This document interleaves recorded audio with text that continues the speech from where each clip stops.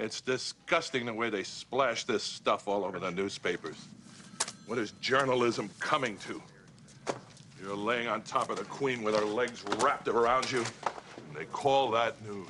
They can't kick you off the force, Frank. It's just not fair. I know, Ed. Life isn't always fair.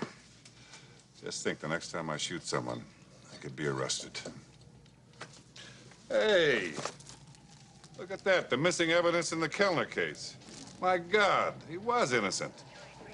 He went to the chair two years ago, Frank. Well, what's the use?